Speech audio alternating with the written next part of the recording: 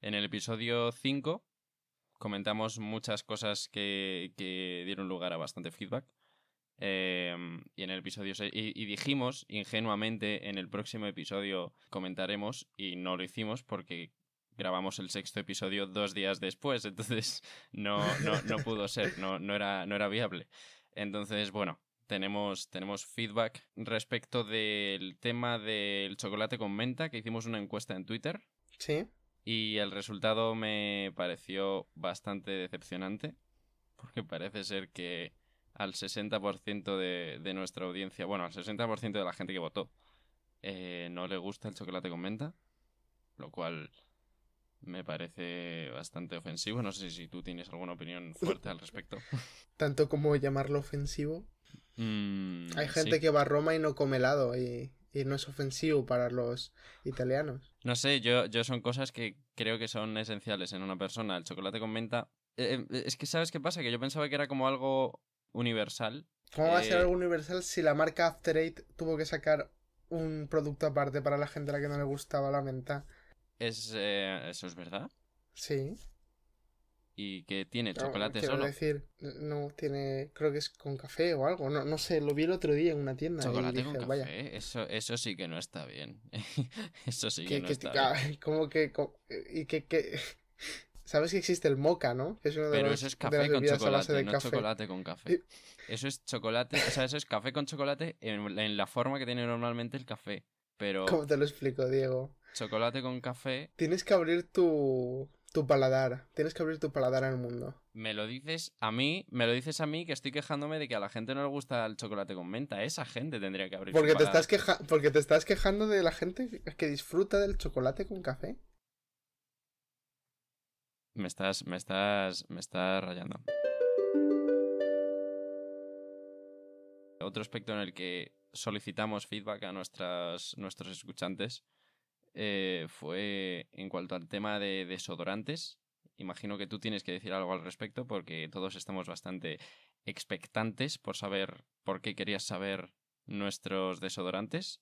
Antes de nada, voy a aclarar el motivo de lo del desodorante. Creo que hay una gran parte de la personalidad que influye en la elección de nuestro desodorante. Y, por lo tanto, creo poder atisbar algunos pequeños retazos y lienzos de, de la persona detrás de esa elección por el desodorante que dicen usar. ¿A dónde quiero llegar con esto?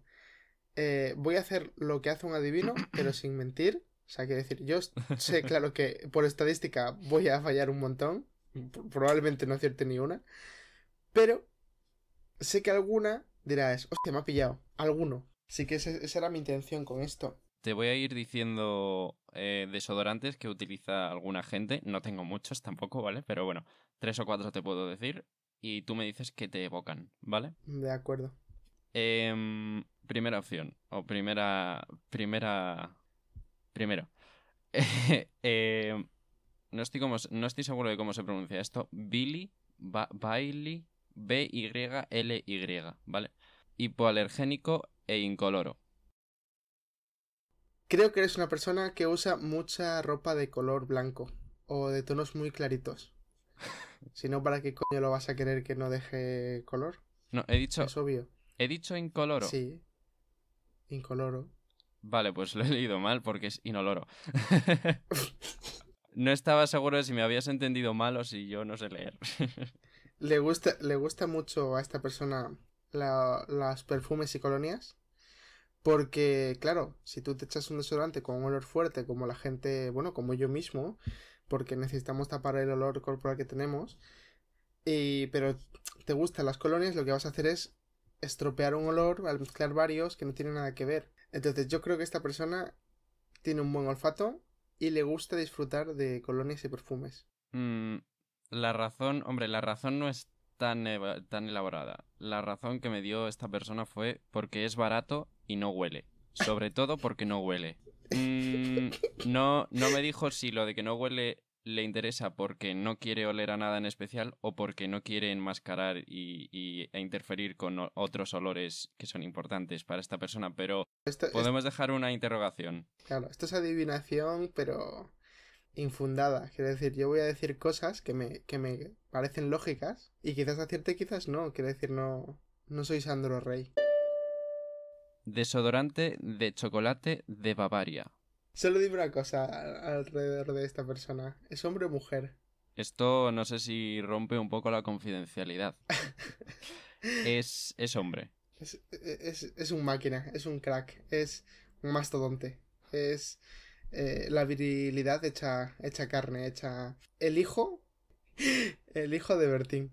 El hijo de Bertín. ¿Quién más necesita oler a chocolate de pasión?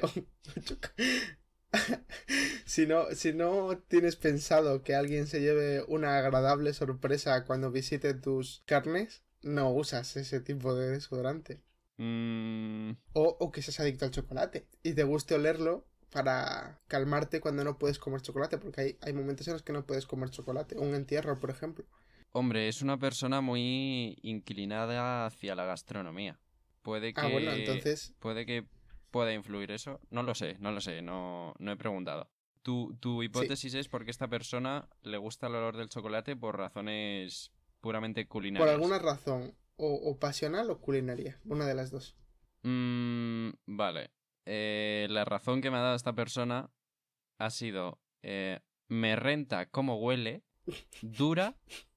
Dura, me imagino que es porque dura. Es, es, es durable, es eh, duradero. Y en el Body Bell hacen ofertas y está barato.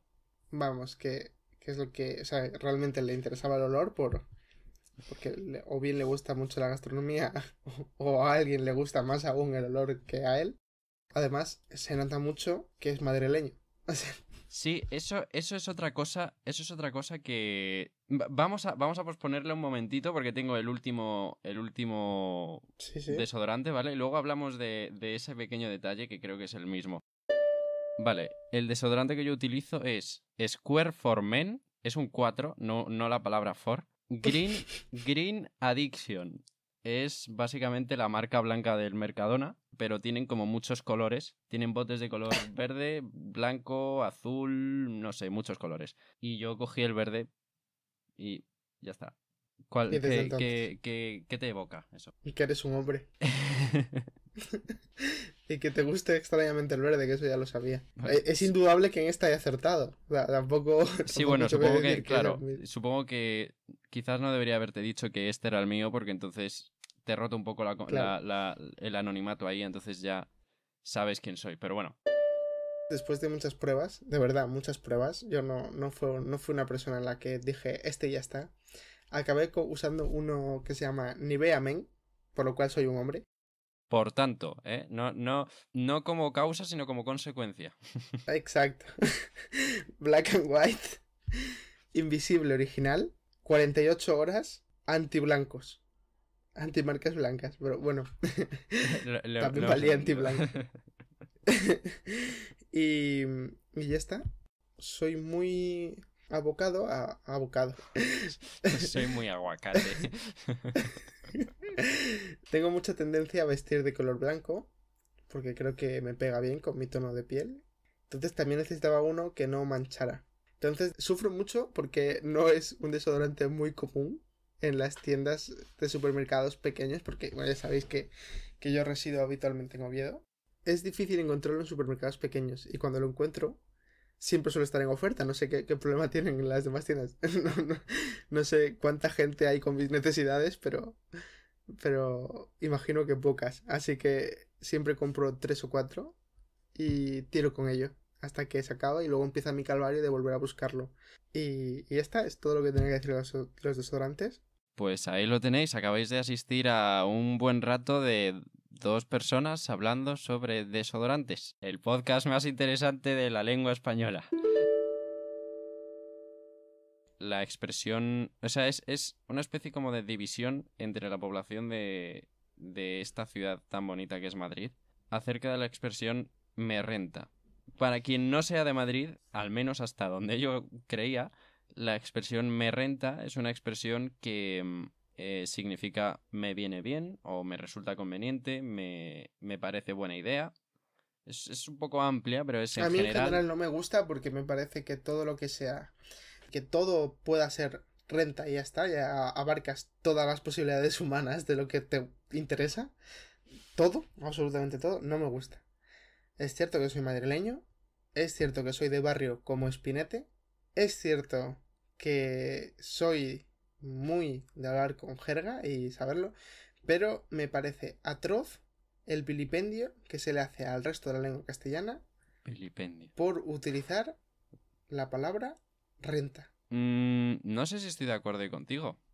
Es decir, cuando se trata de mm, textos, o sea, cuando se trata de lenguaje formal y de lenguaje técnico, creo que cuanta más riqueza tenga el lenguaje es mejor, pero cuando se trata de lenguaje coloquial, creo que poder expresar muchas cosas con pocas palabras es muy bueno, muy útil.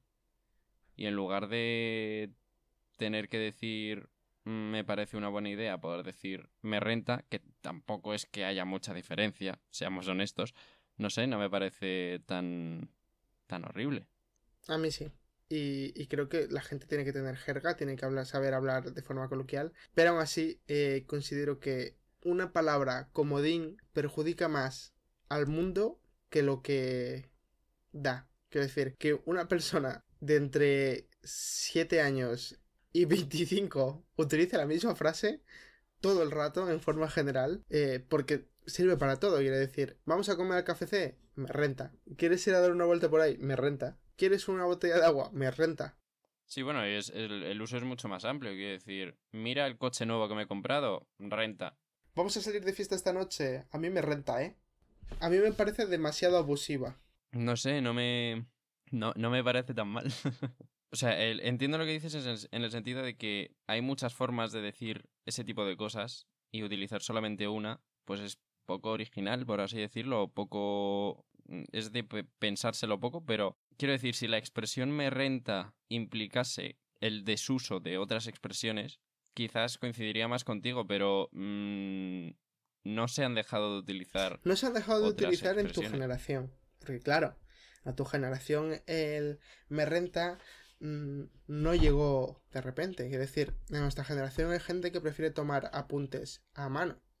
Sí, y no veo la relación. Sí, yo estoy seguro de que las generaciones venideras, cuando se controle más el tema de aparatos de dispositivos electrónicos a la hora del estudio, como son las tablets y demás, no van a querer utilizar un boli y su mano cuando simplemente pueden teclear. Me explico, quiero decir, el me renta a nosotros nos ha llegado como una nueva moda y nosotros somos unos niñitos confusos que la utilizan porque está bien, me, me, me renta usarla. Pero los, del, los que vienen detrás, si ya de base, en cuanto empiezas a tener conciencia de ti mismo, empiezas a decir me renta, no vas a aprender otra cosa. Quiero decir, o, o mejor dicho, te va a parecer antinatural todo lo demás. No me parece una. O sea, no me parece una buena analogía. Primero porque me renta no es. En términos de, de expresión de lo que quieres decir, no es ni mejor ni peor, ni más ni menos conveniente que otras expresiones. A ver, Sin a ver, embargo. A ver, a ver, a ver, a sin ver, a embargo. ver, a ver, a ver, a ver, espera, a ver. espera. Déjame terminar. A ver, a ver, a ver, ¿qué- Lo que quiero decir es que no es la misma diferencia que hay entre escribir en un papel con un boli y escribir en un ordenador, que es muchísimo más conveniente escribir en, en, en un aparato informático, el que sea. Vale. Además, no es un avance de la tecnología decir me renta. Y por otra parte, te pongo un ejemplo. Decir, en lugar de decir me renta, decir mola. Mola es algo que se lleva diciendo mm, décadas ya. Es, es otra expresión que significa algo similar. Por decir mola, que mola es muy anterior a nuestra generación. Por decir eh, esto mola o esto me mola en, en generaciones anteriores a la nuestra, nosotros hemos dejado de conocer y de utilizar las expresiones me parece bien, me resulta conveniente, me parece apropiado. No, las seguimos utilizando y las seguimos conociendo y las seguimos entendiendo. Lo mismo con me renta, es decir, son palabras que surgen como parte del lenguaje coloquial, pero pueden quedarse ahí décadas o pueden irse en dos años. Pero, pero el caso es que no hacen desaparecer al lenguaje sí lo hacen. mm, más eh, formal, por así decirlo, o más normal. Yo no estoy de acuerdo. El caso es que todo esto ha venido porque, como muchas cosas en este podcast últimamente, esto ha venido de Twitter. Una especie de debate, otro ejemplo de tribalismo, ¿vale? Como los que vimos en ese episodio anterior, como estos de la tortilla y del chocolate con menta y de la horchata. Un ejemplo de tribalismo con la expresión me renta. Y es que resulta que hay gente que vive en Madrid y que se dice madrileña, que no conoce esta expresión y que no la ha usado nunca y que se ve muy. se encuentra muy confusa. Básicamente vino por, por un tuit que estaba haciendo una especie como de broma sobre estereotipos madrileños y utilizó la expresión me renta y la gente empezó a, comentar ¿me renta? ¿Eso qué significa? No sé qué, no he escuchado eso en la vida, soy de Madrid. Entonces quería, quería preguntar en, este podcast a ti como, como, como madrileño de corazón y a nuestros escuchantes como potencialmente madrileños, dado que la mayoría de nuestros escuchantes son amigos nuestros. ¿Cómo, cómo, ¿Cuál es su relación con la expresión me renta, rentar, rentada, el sustantivo rentada, que significa algo que es conveniente, algo que mola? Es que, es que, es que da asco, es que da asco, es que es, es, como, como un parásito. Es, coge tu lengua y la deforma hasta hacer la mierda, ¿sabes? no te renta, me renta. Es que además la gente, mira, voy a ser, voy a ser cruel, voy a ser directo. La gente que por norma general utiliza la, la, la triada, la me renta, te renta, la rentada, no son de fiar. Algo esconden por detrás, seguro que son malagueños recién venidos de por ahí. Pues tengo, tengo algunos amigos con los que ponerme en contacto y hacerles algunas preguntas. Entonces, yo personalmente no lo utilizo tanto y rentada en concreto casi no lo utilizo, pero me renta es algo que... O esto renta. calla, calla, calla, es que no quiero oírlo. Yo utilizo mucho la palabra rentar, pero no en ese, en ese ámbito. Quiero decir, ya, bueno, en, el uso tradicional de la palabra renta. En el uso tradicional. Resulta rentable económicamente. Claro, yo juego torneos de cartas porque me sale rentable si gano a partir de X rondas. Muchas veces digo, pues ya lo he rentado. O puedes ir a, una opción un poquito más tradicional, un poco más allá en, ese mismo camino que ya estás empezando a caminar y decir arrendar. Pero arrendar no es. No es, no es lo mismo, pero sí, es decir, arrendar eh, en, el, en, el, en, el, presente ha venido a, significar alquilar, básicamente. Pero arrendar no deja de ser sacar un beneficio de algo. He arrendado, madre mía. Claro, es decir, si el verbo rentar ha terminado significando simplemente resultar conveniente, pues el verbo arrendar también puede, está, está a la misma distancia. Quizás en una dirección ligeramente distinta, pero está en, está en la misma distancia. Un poco más lejos, diría yo, pero Entonces... un poco bastante más lejos. Todo empieza con una madre de las Rozas llevar a su hija al, al Carrefour a que se comprara las cosillas materia escolar para septiembre, que ya viene a la vuelta al cole, niños. Y la madre ve unas, unas cuantas libretas, agendas, en las cuales se puede ver, se puede apreciar un texto censurable, muy coloquial y poco usual para la gente a la que supuestamente estarían enfocadas las libretas. Si puedes explicarnos de forma family friendly el título. Ya ha llegado el otoño, que rima bastante. rima bastante con una palabra fea. No me toquéis el moño. A ver, si yo hago una libreta escolar, porque hay gente que con 16 años para arriba, yo creo que estos mensajes que he dicho antes ya son graciosos y aceptados. Entonces, que la gente pida que se retiren, primeramente me parece una muestra más de que los padres deberían tener un carnet de padres. Mm, no estoy de acuerdo contigo ahí. O sea, me parece que tienes razón en que, evidentemente, estas, estas agendas no están hechas para niños y no, no, no era, o sea, no tenían intención de traumatizar a ningún niño con estas cosas, sino simplemente tenían intención de dirigirse a un público más mayor que puede necesitar estas agendas, pero que, pues eso, que ya, ya es mayor y ya entiende estas referencias y entiende a lo que se refieren y, y bueno, le resulta gracioso y puede comprarlo. Pero no sé, es que no me parece que deban o sea, no, no me parece que eso sea suficiente justificación como para ponerlo en un sitio, o sea, vender esas agendas en un sitio en el que sabes que van a ir niños a comprar. No sé si Vale. me explico, es decir, Sí, véndelas, pero véndelas en un sitio que no vaya a estar lleno de Sí, que, niños. que quizás puede ser una sección distinta, te entiendo. Si yo pongo la vuelta al cole, es verdad, no puedo poner, no puedo poner esas agendas. Las pongo en la sección de hogar, casa o lo que sea, o enfrente de los folios y. Pero si, si yo lo pongo como, como útiles escolares, pues sí que me valdría. Yo es creo que, que, tienes que también tener hay. en cuenta que van a pasar niños. sí, es que, es que no. Sí, pero es que que pasen niños, quiero decir, vendemos cerveza en los supermercados, pasan niños delante, ¿cuál es el motivo? Sois superiores de 18. no es lo mismo. Porque un niño no se va a traumatizar por ver una botella de cerveza. Ah, tampoco se va a traumatizar por ver escrito una palabra fea, pero ya me entiendes. O sea, no- va a herir su sensibilidad. ofrecemos servicios sexuales en papeles en los coches de todas las ciudades, de todas las calles de Madrid, y ahí pasan niños. Y no hay un papel, hay cientos. Sí, Si pero es, al- regula- es- es algo un poco ilegal con lo que justificar tu argumento. es Quiero decir, sí, pero no está perseguido. Quiero decir, yo no veo, yo no veo, yo no veo eh, que no, haya no está perseguido, pero, pero por razones distintas, pero no deja de ser ilegal. Pero quiero decir, ¿realmente es motivo para que todo el, el poblado, que es un poblado de las Rozas, se levante para pedir la, la retirada de esas agendas de un centro comercial? Es decir, si nos indignamos con eso, ¿por qué no pedimos que el, el alcohol, que quiero decir, Pero es que Es- no, no veo tu argumento. Quiero decir, eh, son razones completamente distintas. Es decir, no hay toda una historia detrás de las agendas con mensajes ofensivos. No, no genera una cantidad muy importante de ingresos para el gobierno, eh, porque el gobierno está, no, no está recibiendo nada por esas agendas. Bueno, el IVA, pero nada más. Y no hay millones de personas intentando comprar esas agendas, ¿sabes? Si, si prohíbes esas agendas, no es como si prohíbes el alcohol o el tabaco, que no vas a dejar, o sea, no vas a impedir que la gente los consuma, simplemente vas a hacer que la gente los consuma de forma clandestina. Si prohíbes esas agendas, prohibirlas sería muy excesivo, pero si las quitas de ahí, no vas a hacer que los niños compren esas agendas de forma clandestina, ¿sabes? Lo único que vas a conseguir es que los niños no vean palabras feas.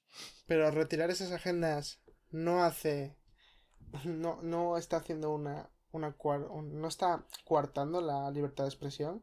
Quiero decir, que yo haga una agenda y le ponga el mensaje que yo quiera, dentro de unos límites, obviamente, de no atacar a nadie, no, pero es que esto realmente no lo veo ofensivo. Y para la mayoría de niños a los que les pueda resultar ofensivo, seguramente ni, ni están pensando en mirar esa libreta. Quiero decir, ¿a partir de qué edad sabías tu primer insulto? Pero, pero es que no sé, quiero decir, eh, vale, eso es un problema, pero porque los niños se ven expuestos a esas cosas y simplemente las replican porque les parece, yo que sé, gracioso o lo que sea, pero... que, que me digas, es que yo no veo justificada para nada que se retire completamente de un centro Primero, no veo, no veo, no veo bien que todas las decisiones que ahora mismo se tomen en España, todas las decisiones del mundo sean el populacho gritando, porque al final es lo que parece, hmm. que actuamos por impulso. A ver, si entiendo lo que dices, es decir, e- estoy en parte de acuerdo contigo en el sentido de, o sea, en, lo que has dicho de que hay mucha sensibilidad a, a ofenderse por cosas y hay mucha, digamos, facilidad de respuesta, por así decirlo, de empresas y corporaciones y demás, en este caso Carrefour, para mm, responder demasiado rápido a, a este tipo de a este tipo de cosas. Y en cuanto tienes a un grupo de gente quejándose, enseguida haces lo que sea por no dañar tu imagen pública. Y además es que hay que tener en cuenta que esta gente que estaba indignada por este asunto estaba utilizando el argumento mágico que necesitas para ganar cualquier tipo de disputa con una gran corporación que dependa de su imagen y es el argumento de es que nadie piensa en los niños. Y, y es, es básicamente eso, ¿no? Es decir, no es que sea una carta tan difícil de jugar porque es un producto que estaba en la sección para niños, pero. O, en una sección en la que habitualmente hay niños, pero. Estoy de acuerdo con eso en el, que, en el sentido de que hay mucha sensibilidad, demasiada quizás, y. mm, hay poca, digamos. tolerancia hacia. o, resistencia o o aceptación de cosas que te pueden ofender y pueden no ser para ti y no tienen por qué ser ilegales y no tienen por qué ser retiradas. Pero en este caso concreto, creo que. Creo que sí están en lo cierto. Es decir, creo que eso es excesivo simplemente porque un grupo de gente se queja dejar de venderlas del todo. y creo que se ha llevado muy lejos, es decir, no hacía falta montar aquí una plataforma, pero creo que simplemente con mm, hablar con el responsable del lugar entre un grupo de gente y que las muevan a otro sitio, a una sección de papelería más neutral, que nos tenga al lado el, cartel de vuelta al cole con niños felices eh, en la imagen, sino en una en una estantería aparte de papelería, que normalmente hay sitios aparte en las que tienen archivadores y cosas que son más de oficina, que no son tan de escuela, creo que hubiese sido la solución. Es decir, no hacía falta tampoco prohibirlas como si tuviesen cosas súper inapropiadas, ¿sabes? Pero, pero sí que estoy... o sea, no, no me parece que sea tan grave realmente. O sea, no me parece que estuviesen tan equivocados como crees tú. Vamos a poner, vamos a poner un caso que lleva coexistiendo toda la vida en España y que es probablemente uno de los casos que más, más puede parecer igual. Porque esta gente que se alarma con un cuaderno, porque está en una sección en la que los niños pueden ir, sin embargo, en España existen, existirán y seguirán existiendo kioscos donde se venden los periódicos, hmm. los mil y un juegos para niños, los mil y un chuches para niños, y en la tira de arriba hay un montón de contenido erótico y pornográfico. Sí, el ejemplo del, del kiosco es... Tienes toda la razón en ese sentido. Es decir... Entonces, ¿qué tengo que hacer? A partir de ahora, dejar el contenido de adulto solo para personas de más de 1,80 y poner una especie no, pues igual, pues, estantería en por este, encima. En este caso, además, siendo contenido de, mm, bastante especial que no necesitas ser niño para que te pueda ofender, creo que lo apropiado es no dejar de venderlo porque no deja de, o sea, es legal y es perfectamente normal venderlo, pero quizás no tenerlo en el mostrador, no tenerlo fuera y tenerlo dentro guardadito y cuando alguien venga y pregunte, pues se lo das, a menos que sea un niño, claro, pero cuando alguien adulto venga y pregunte, se lo das, lo puedes vender sin problema, pero hombre, no lo muestres. Es como una es como una sex shop. O sea, es perfectamente legal tener una y es perfectamente legal entrar en una y comprar lo que tú quieras. Pero una cosa es eso y otra cosa es exponer todos los productos que más éxito tienen en tu sex shop en el mostrador para que lo vea todo el mundo. Hombre, eso es un poco inapropiado. Es muy, es muy vago pensar que tus hijos no van a entender nunca nada del mundo y pensar que se van a educar ellos solos o que alguien se lo va a enseñar de otra parte. Y en España se hace mucho pensar que decir, la palabra moño es una palabra totalmente natural, es una palabra coloquial, como hemos dicho antes, me renta, que va a usar probablemente tu hijo desde los 11 años en adelante el resto de su vida. Considero que si la escucha a los 7 no es lo más malo del mundo, ni, ni vas a hacer que tu hijo se convierta en, en el asesino de la katana. A ver, sí, sí, en eso estoy en parte de acuerdo contigo, pero tienes que tener en cuenta que no todo el mundo tiene esa misma opinión. y no todo el mundo tiene la misma forma de criar a sus hijos y tú tampoco puedes obligar a la gente a cuidar a los hijos como tú quieras. Cada uno tiene sus formas y este tipo de cosas que sí es cierto que poner una palabra fea en un cuaderno no es lo mismo que mm, una imagen erótica o, un juguete sexual en un mostrador, es decir, es bastante menos inapropiado, no es tan grave. Pero aún así puedo ver cómo eso puede herir la sensibilidad de alguien y, no sé, no me parece tan excesivo moverlo a otro sitio. Ya te digo, moverlo a otro sitio. El hecho de que hayan prohibido la venta me parece muy excesivo. Es lo que yo digo. A mí, no, a mí no me parecería. No considero que sea malo cambiarlo de lugar o exhibirlo de una manera distinta. Pero exigir su retirada y quitarlo. Eh, de hecho, hay muchos temas controvertidos esta semana. Lo del ¿Sabes lo que te digo, no? Lo del cómico. Robert Bodegas, creo que se llama. He visto algo en Twitter muy de pasada, pero no, no he entrado a leer qué es lo que ocurre. Sí, Robert Bodegas. Como cómico, Robert Bodegas es una persona que ha hecho muchísimas. ha tocado muchísimos tabús. Incluso dentro de la comunidad que son sus fanáticos. Es decir, él ha insultado a rockeros, ha insultado a metaleros, a hipsters, a toda la comunidad posible, la, la ha tratado de forma cómica. El hombre, en un monólogo, en una de sus partes del mundo dice que hay ciertas partes del, del mundo, bueno, de la sociedad española, que tienen eh, inmunidad. ¿Vale? Es el caso, por ejemplo, habla él, según su experiencia propia y según eh, una ideología que, si bien no comparto, voy a comentar aquí. El hombre dice que eh, la gente de etnia gitana está dotada de una inmunidad o unas leyes distintas a las que nosotros tenemos. Entonces él, él hace una analogía y dice, yo sé que no puedo hacer chistes de gitanos, pero como soy un payo, puedo hacer chistes de, de payos. Por ejemplo, uno de los chistes que hacía era, este es un payo que no pasaba droga. Eh, ha, habido una, cantidad de odio enorme a esta persona por hacer esa, esa comparativa, esa forma de, de, hablar. Y me pareció muy apropiado un tweet que leí que decía hace, hace 40 años oía a hablar a los cómicos riéndose sobre los homosexuales. Ah, y me reía. Ahora me parece de mal gusto. ¿Qué quiere decir? La sociedad avanza. Es decir, que este chiste actualmente sea polémico quiere decir que estamos avanzando. Porque hace 20 años probablemente estos chistes hubiesen sido... Eh, hmm.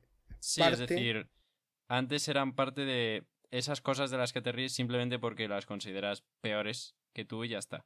Como, Exactamente. Ya te como lo que tú dices, hace 40 años reírse de un homosexual. Exactamente. Entonces, considero que está bien que exista, porque no le voy a cortar la versión para eso.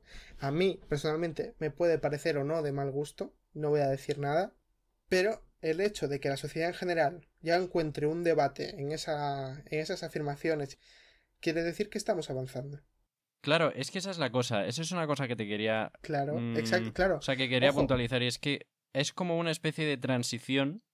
Entonces, cuando, cuando la sociedad está empezando a desestigmatizar algo, el ejemplo de la homosexualidad, eh, hace 50 años estaba completamente estigmatizada y si tú hacías un chiste sobre ello, era como. era gracioso porque es algo de lo que te ríes porque lo consideras peor que tú. Era porque era homosexual y ya está. Jaja, qué, risa, me Claro, y hoy en día en general, digamos, no entre tu grupo de amigos puedes hacer un poco lo que quieras, pero en general no está tan bien visto porque es algo que se está desestigmatizando, pero no se ha, no se ha desestigmatizado del todo. Qué palabra más difícil de decir cuando lo dices rápido muchas veces, desestigmatizar. Pero cuando algo está completamente desestigmatizado y ya nadie se ofende por ello, eh, un, chiste de, un chiste sobre estadounidenses. Nadie se ofende porque hagas un chiste sobre estadounidenses y hagas un chiste sobre un estereotipo, el que sea. Porque no es un estigma ser estadounidense, entonces un chiste sobre ello, riéndote de esa nacionalidad simplemente por hacer el chiste, y nadie se ofende y nadie va a decirte, estás eh, discriminando a la gente por ser estadounidense. No, simplemente he hecho un chiste, porque es gracioso, es evidente que no tengo nada en contra de esa nacionalidad. Y creo que todas estas cosas que están como en ese proceso de estar avanzando, pero todavía no están avanzadas del todo, como, como el ejemplo de la homosexualidad, el ejemplo de la gente gitana o gente de determinadas zonas del mundo que están más estigmatizadas que otras, todavía se considera ofensivo y es en parte buena señal porque significa que se está avanzando, pero en parte mala señal porque significa que todavía es la gente sensible a ello. Y la gente que es capaz de reírse de ellos sin realmente sentir desprecio por esa gente, simplemente se ríe porque le resulta algo gracioso, como el ejemplo que hemos puesto de un chiste sobre estadounidenses, pues es vista como, como gente de justo del otro lado del, río, ¿no? Como gente de. Como, como si fuera gente que realmente se está riendo de ello porque piensa que es peor. Y creo que ahí está el, el conflicto en este, en este asunto. Muchas gracias por escucharnos. Compartid nuestro podcast con la gente, con cualquier persona. Eh, comunicadnos cualquier cosa que queráis. No tiene por qué estar relacionado con nuestro podcast. Lo que sea vuestra vida en nuestras redes sociales, nuestro email y nuestras cosas. Hay links por ahí. No voy a decirlos todos otra vez porque me da un poco de pereza, pero ya sabéis cuáles son si escucháis habitualmente. Así que mm, eh, nada, muchas gracias. Comunicando, comunicaos con nosotros. Gracias por escuchar y hasta luego.